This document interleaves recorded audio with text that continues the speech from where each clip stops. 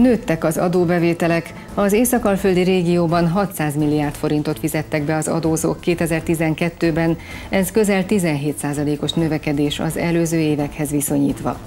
Egyszerűbb ügyintézés, év végére befejeződhet a közigazgatási rendszer megújítása, jelentette be a társadalmi kapcsolatokért felelős államtitkár Nyíregyházán.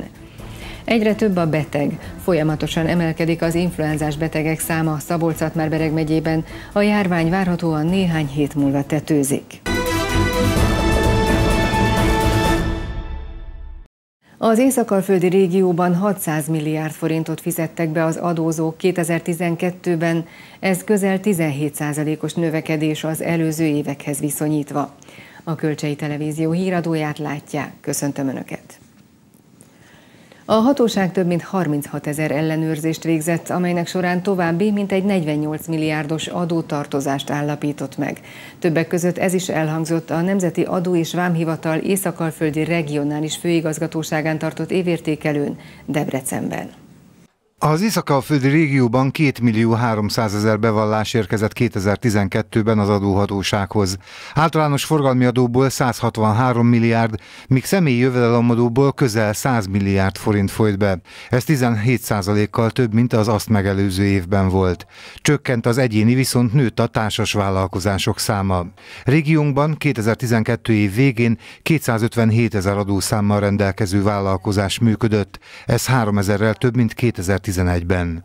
Az elmúlt évben 36 ezer ellenőrzést végzett a társszervekkel az adóhatóság, amelynek során további mintegy 48 milliárdos adótartozást állapítottak meg. Erősítettünk az ellenőrzési területen. Célunk volt az, hogy a jogosulatlan áfa visszaigénylőket és az egyéb támogatás visszaigénylőket kiszűrjük a rendszerből, és őszintén remélem, hogy bizonyos mértékben a prevenciónak is volt egy ilyen hatása, hogy önkéntes befizetések eredményesebbek voltak. Az évértékelőn a régiót érintő pénzügyi bűncselekmények is szóba kerültek. A leggyakoribbak a költségvetési csalások, valamint szabolcs már Bereg megyében a legjellemzőbb a jövedéki csalás, ezen belül a cigarettacsempészet. Az ilyen ügyek több mint egy milliárd forint kárt okoztak a költségvetésnek. A volumenét jellemzi ezen jogsértési kategóriának, hogy a társzervekkel közösen a bűnügyi igazgatóság 2,7 millió doboz cigarettát foglalt le, melynek értéke a másfél milliárd forintot is meghaladta. Jellemző ezen elkövetési magatartásra, hogy az elkövetői körök gyakorlatilag minden létező eszközzel próbálják beütetni a cigarettát az határ területén. Mondhatom, hogy egy nagy nyomásnak vagyunk kitéve, és egyre inkább szervezettebbé, koncentráltabbá válik a tevékenységük. Ennek megfelelően megfelelően, illetve stratégiának megfelelően az elmúlt évben két ilyen bűnszervezetet sikerült felszámolnunk szabolcs Bereg megye térségében. A benzinturizmus viszont jelentősen lecsökkent a régióban, amely elsősorban az ukrán határon bevezetett alkalmi ellenőrzéseknek köszönhető. A sajtótájékoztatón azt is elmondták, hogy 2012-ben 31 milliárd forintnyi adó és járulék hátralékot sikerült behajtania az adóhatóságnak. Évvégére befejeződhet a közigazgatási rendszer megújítása, jelentette be a társadalmi kapcsolatokért felelős államtitkár Nyíregyházán. Kovács Zoltán tájékoztatóján elmondta, a kormányablakok száma évvégére meg tízszereződik, és ezekben a központokban már egy helyen úgynevezett egyablakos ügyintézést vehetnek igénybe az állampolgárok. Egyszerűsítés és átláthatóság volt a célja a közigazgatási rendszer átalakításának. Kezdte Nyíregyházi tájékoztatóját a társadalmi kapcsolatokért felelős államtitkár. Kovács Zoltán hozzátette, a rendszer megújításával kiiktatják azokat a különbségeket, amelyeket az önkormányzatok között tapasztalhattak a lakosok. Egy folyamat közepén vagyunk, hiszen a megyei kormányhivatalok azok a tavalyi évben jöttnek létre. Ennek az évnek az elején, januárban elindult a járási rendszer újra létrehozása, és az év végéig tart részben ennek az, ennek az új szerkezetnek a beüzemelése, hogyha lehet így fogalmazni, illetve annak az új felületnek a létrehozása, amit mi kormányablakoknak neveztünk el, amelyeken keresztül az állampolgárok azokat a szolgáltatásokat megkapják, amelyeket az állam nyújt számukra. Nem csak a lakosok, hanem a civil szervezetek is egy helyen intézhetik ügyeiket, tette hozzá az államtitkár. Kovács Zoltán elmondta, többek között azért látogatott szabolcs már Berekbe, hogy megismerje a megye működő nagy társadalmi partnerek helyzetét és véleményét. A megyei kormány megbízott arról is tájékoztatta az államtitkárt, az ország legkeletibb kormányhivatala jó kapcsolatot ápol a civilekkel. Én említettem egy pozitív példát, amikor a vállalkozók kérik azt a fogyasztóvédelmi hatóságtól, hogy vizsgálja meg, hogy minden rendben van-e, illetve más szervektől, hogy, hogy egy pozitív tanúsítványt adjanak ki, és legutóbb ebben a megyében a Fogyasztóvédelmi Egyesület is bekapcsolódott ebben a munkába, tehát a civilek is tulajdonképpen kontrollálták e, ezt a folyamatot. A tájékoztatón elhangzott, jelenleg 29 kormányablak van hazánkban, a szám azonban év végére megtízszereződik. Folyamatosan emelkedik az influenzás betegek száma szabolcs már Bereg megyében. A járvány várhatóan néhány hét múlva tetőzik. Aki még nem betegedett meg, apatikákban és a házi orvosánál is kérhet védőoltást, ami 8-10 nap elteltével fejti ki hatását. Az oltóanyag beadása március 1-től ingyenes. Itt tartunk most, tehát lehet járni, hogy átléptük a járványküszöböt, ezek a tavalyi csúcsok, Grafikonon mutatja az influenzás megbetegedések adatait a megyei tisztifőorvos. Jól látszik, hogy nem sokára elérjük a tavalyi számokat. szabolcs már Bereg megye az egyik leginkább fertőzött térség. Itt 100 ezer lakosra számítva 350 fő felett van a betegek száma. Hetente legalább 30%-kal nő a panaszosok aránya. Elsősorban a fiatal felnőtteket, a kisiskolásokat és az óvodákat érinti a fertőzés. Máté Szalka és Nyírbátor területéről halmozódást is jelentettek, de intézmények bezárására nincs szükség. Aki tart attól, hogy a vírust elkaphatja, érdemes beoltatnia magát. Az oltóanyag ára nem változott, a patikákban 2000 forint körül már lehet kapni. Térítésmentesen a 60 év fölöttiek, a kisgyerekek és a kismamák, illetve a krónikus megbetegedésben szenvedők vehetik igénybe. A vakcina beadásáért viszont nem kérhetnek pénzt az orvosok. A beadás az ingyenes, az oltóanyagért, akinek nem jár a térítésmentes, ugyanúgy fizetni kell, mint eddig. Magas láz, gyengeség, levertség, izomfájdalom, száraz köhögés, ezek a legjellemzőbb tünetei az influenzának. Sokan úgy gondolták, megelőzik a betegséget. Már október, tehát az első, tehát amikor már kijöttek az oltóanyagok, már akkor beoltottam magamat. Főképpen a felelősség, fel, feleségem hatására, mert ő az egészségügyben dolgozik, de azért is, hogy tehát megelőztem a influenza. Az elmúlt hetekben jelentősen nőtt azoknak a száma, akik influenzára utaló panaszokkal fordultak orvoshoz. Azok számítanak a legveszélyeztetettebbnek, akiknek valamilyen krónikus betegségük, szív- és érrendszeri panaszaik vagy légúti megbetegedésük van. Az orvosok azt mondják, oltással még elkerülhető a betegség. Ilyenkor még talán érdemes felvenni az oltást, hiszen az influenza mm, fertőzöttség azért még nem tetőzött, tehát azért a védettség még kialakulhat, de nyilván azért az oltásnak leginkább a megelőzés szempontjából van jelentősége, tehát legjobb az lett volna, hogyha már mindenki, akinek szüksége van rá, már felvette volna az oltását. Az influenza elleni oltóanyagokat a házi orvos is felírhatja, de a patikákban is lehet kérni. Beadása március 1-től ingyenes. Meghosszabbították a trafik pályázatot, így február 22-ig lehet pályázni dohánytermékek kiskereskedelmi jogosultságára, tájékoztatott Simon Miklós. A Fidesz országgyűlési képviselője kiemelte, a dohányboltokkal kapcsolatos törvényt többször módosították, így a trafikokat már május 31-től meg lehet nyitni. A politikus hozzátette, a trafikokban nem csak dohányárut forgalmaznak majd az üzemeltetők.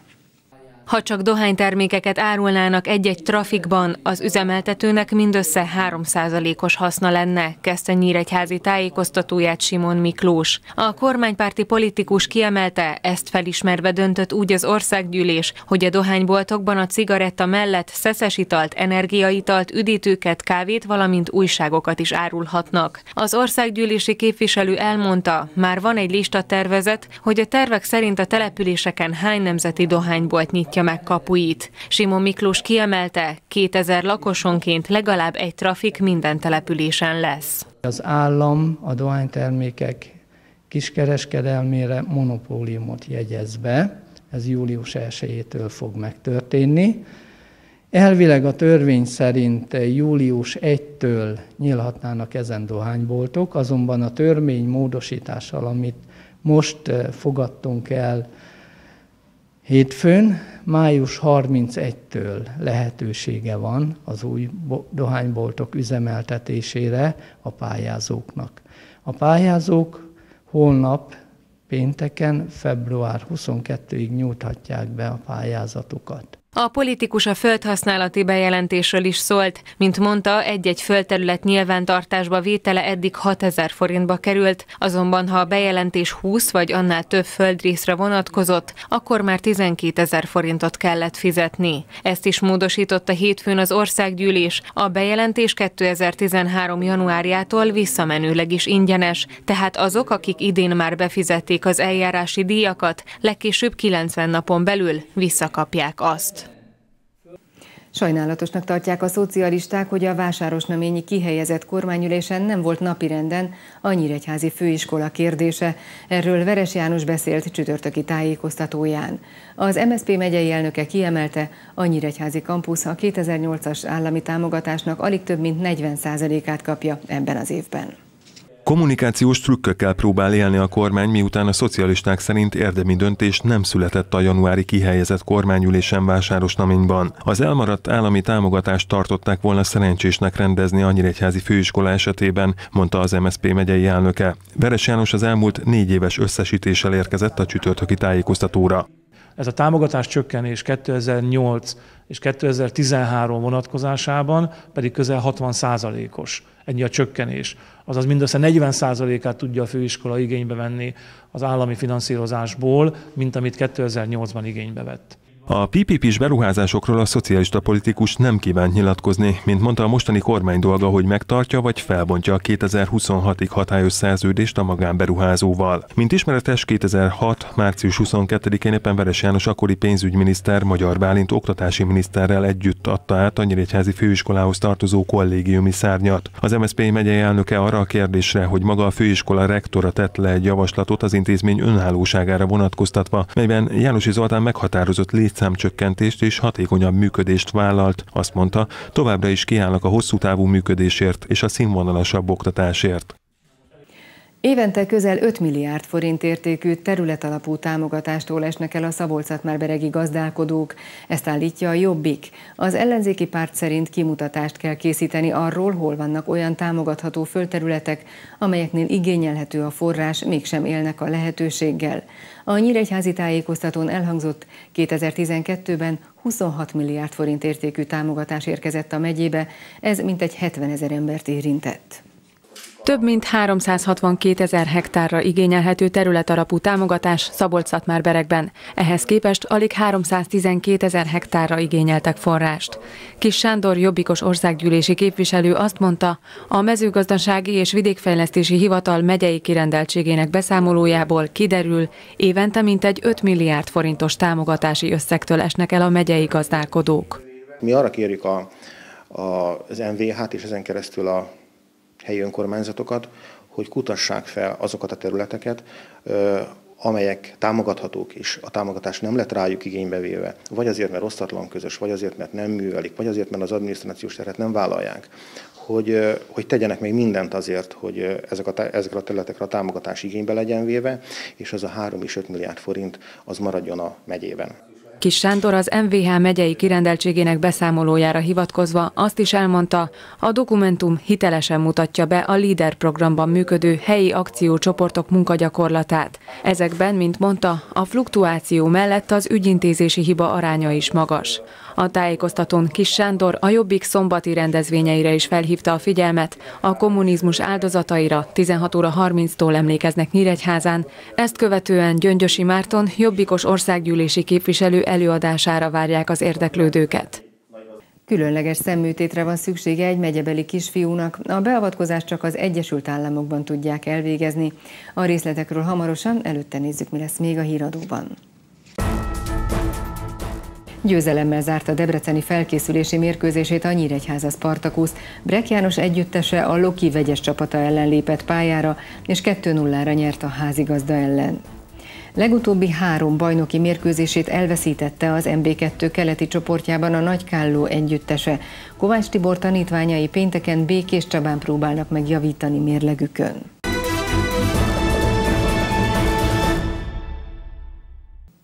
Különleges szemműtétre van szüksége egy megyebeli kisfiúnak. A beavatkozást csak az Egyesült Államokban tudják elvégezni. Benkó Balázs Bence genetikai szembetegsége a retina folyamatos leválásával jár. A fiú édesanyja egy amerikai kutatóintézetet keresett fel, így Floridában meg tudnák akadályozni Bence további látásromlását. A kiutazás és az ottlét azonban nem ingyenes, ezért a Nyíregyházi Evangélikus Kossuth Lajos Gimnázium jótékonysági bárbevételének 30%-át ajánlotta fel a családnak. Vidám jó tanuló, 12 éves. Bence genetikai szembetegségét, az XLR-est a közelmúltban diagnosztizálták. A retinám szétválik, és attól a látásom elromlik, és ez vakuláshoz vezet. A család és az őket segítők kupakgyűjtéssel és jótékonysági rendezvényekkel próbálják előteremteni a pénzt Bence kezelésére. A Retina Kutatóintézetben az orvosunk megemlítette, hogy Amerikában ezt a génterápiás beavatkozást már kutatják 2005 óta, rákerestem interneten, és megtaláltam azt a kutatóintézetet Gensfieldben, aki ezt már jelenleg humán, az az embereken is elkezdte kutatni, kísérletezni, és felvettük velük a kapcsolatot. A kapcsolatfelvétel után a kutatóintézet visszajelzett, hogy ha a kutatási programba részt venne Bence, akkor tudnának segíteni neki génterápiával, hogy megakadályozzák a további szétválást, illetve javulást eredményezzenek nála. A gyengénlátó kisfiú az evangélikus Kossuth Lajos gimnáziumba jár, az iskola elkötelezetten segíti Bencét és családját, pedagógiájukat és eszközeiket is modernizálták, a fiú betegségéhez és igényeihez igazították. Az oktatási intézmény most komoly összeget adományozott a Benkó családnak. 14. alkalommal volt Kossuth Bál az idén január utolsó szombatján, van mindig ez az alkalom. A bál bevétele mindig a tanulók életkörülményeinek javítását célzó beruházásokra használjuk fel a befolyt összeget. Ebben az évben természetesen úgy döntött a szülői szervezet, illetve a diák önkormányzat, hiszen az, ez utóbbi ad javaslatot arra, hogy milyen célra használjuk fel a pénzt, hogy most Bencét is támogassuk ebből az összegből, és ebben az évben 400 ezer forintot tudunk a bárbevételének egy harmadát Bencének a gyógyítására felajánlani. A végösszeg 431 ezer forint lett, hiszen a bál bevételének egy harmada mellé érkeztek még szülői felajánlások is. Azok, akik szeretnének segíteni Bence családjának, adójuk egy százalékát is fel tudják ajánlani, valamint május 11-én a Múzeumfaluban tartanak Bencéért egy családi jótékonysági napot.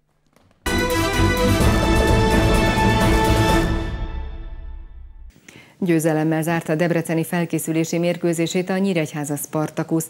Brek János együttese a Loki vegyes csapata ellen lépett pályára, és 2-0-ra nyert a házigazda ellen. A bajnoki főpróbát szombaton a Kisvárda ellen tartja a Spari. A mérkőzés helyszíne egyelőre még kérdéses. Utolsó előtti felkészülési meccsét Debrecenben a Pallagi Futballakadémia egyik füves pályáján játszott a Nyíregyháza Spartakusz. Bajzát Pétert ezúttal pihentette Brek János, szerepet kapott viszont Bodnár László és Bárányos Zsolt. Utóbbi 11-esből talált a Loki hálójába, és mivel előtte Nikolis is eredményes volt, a Spari 2 0 győzelemmel zárt a hajdúsági kirándulást. Sok jó teljesítményt láttam, az első 20 percet eh, leszámítva elégedett vagyok, de azzal kalkuláltunk, mert előtte erőnlétérzés volt itt kedden a stadionban átment a fiúkon. Nyilván ez egy gyengébb csapat volt a szombatinál, de annak ellenére a játék megfelelt. A szakember szerint tavasszal az őszítől eltérő játékot láthatnak majd a szurkolók a Sparitól. Ez adódik a feladatból, mivel támadnunk kell, nyernünk kellene, sokat kell labdát birtokolnunk, és ez a, az, az állomány képes a, a bárányoséknak a vezetésével, úgyhogy egy, egy ilyen, ilyen passzolós labdatartós játék lesz.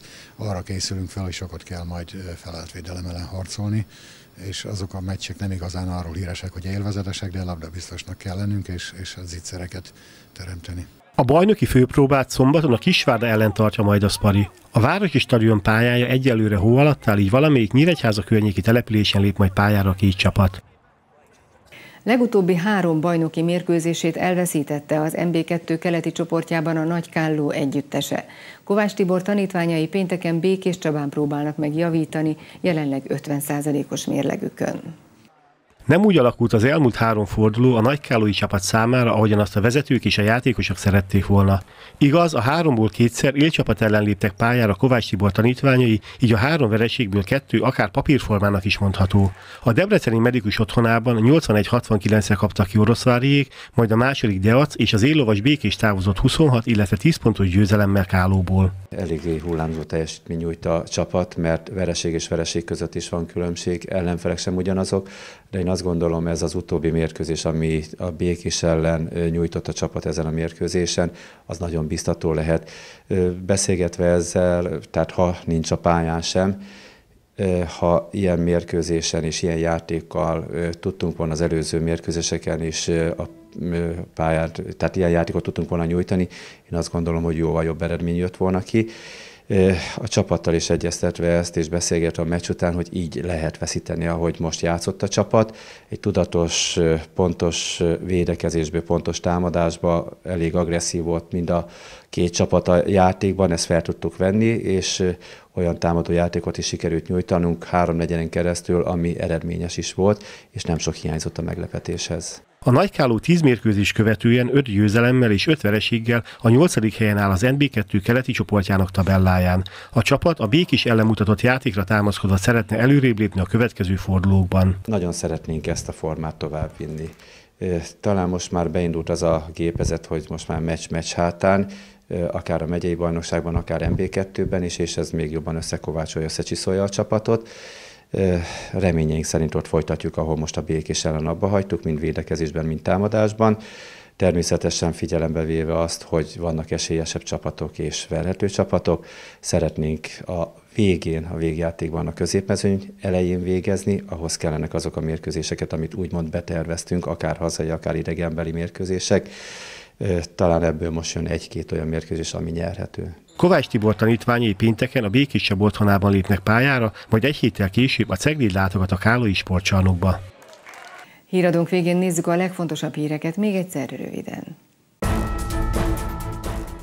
Az Észak-Alföldi régióban 600 milliárd forintot fizettek be az adózók 2012-ben, ez közel 17%-os növekedés az előző évekhez viszonyítva.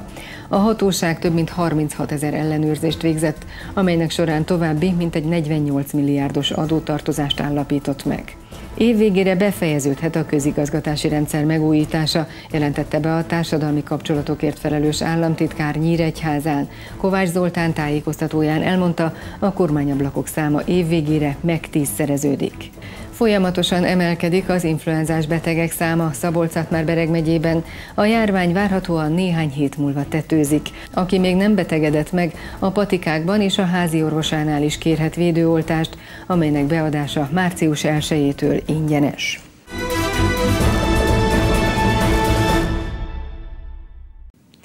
Ez volt a Kölcsei Televízió híradója, amelyet megtekinthetnek az interneten és a weboldalunkon. A legfrissebbekről pénteken este hétkor ugyanitt a híradóban tájékozódhatnak. Munkatársaim nevében is köszönöm megtisztelő figyelmüket, legyen nagyon szép az estéjük viszontlátásra.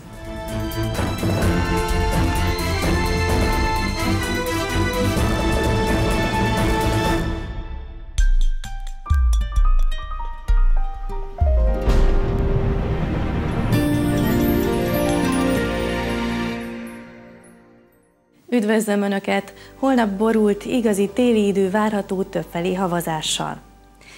A nap legnagyobb részében tehát országszerte borult lesz az ég, lehangoló csapadékos időre készülhetünk. Északon leginkább hó, havas eső várható, azonban délen már egyre több eső lesz a jellemző. Megerősödik az észak-keleti szél, mínusz 2 és plusz 4 fok között tetőzik a hőmérséklet.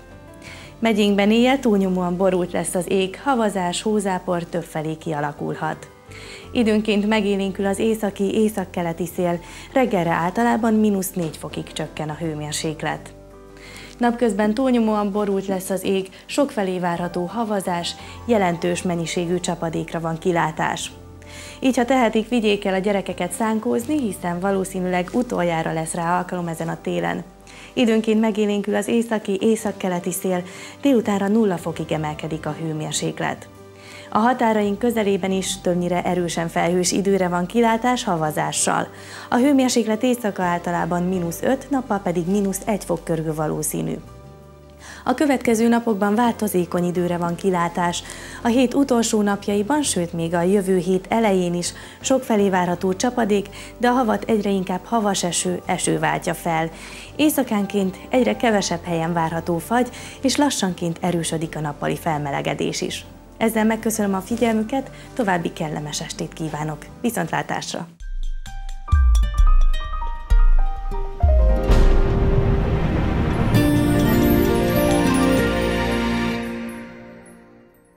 Időjárás jelentésünket támogatja a Felberman Éva édességbolt, a magyar Csokomi csokoládé forgalmazója.